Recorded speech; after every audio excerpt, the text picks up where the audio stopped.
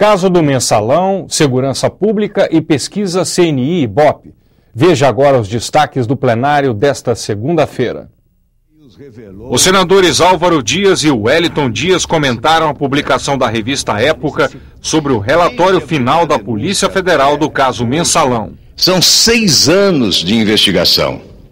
Investigação política através da Comissão Parlamentar de Inquérito, investigação da Polícia Federal, do Ministério Público, e não há dúvida de que o mensalão foi um dos maiores escândalos de corrupção da história da República. Independente de qual partido pertença qualquer um dos indiciados, acho que tem o direito da legítima defesa para que a gente não cometa, vamos dizer, com um pré-julgamento, é, a necessidade de depois ter que reparar o irreparável, que é uma situação de colocar na valha comum pessoas que, é, por outras razões, possam ter sido colocados como denunciados. Já o senador Aloysio Nunes criticou a falta de recursos para a segurança pública do país. Enquanto aumenta a violência, enquanto se anuncia de maneira grandiloquente a criação de um plano nacional, um PAC da segurança, o que se vê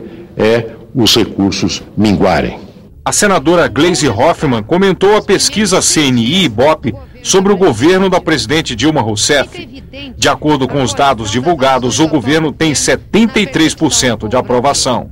Isso se deve claramente à seriedade e consciência da presidenta Dilma nas suas responsabilidades, em garantir continuidade a este projeto de transformação do Brasil em uma grande nação, iniciada pelo nosso ex-presidente Lula.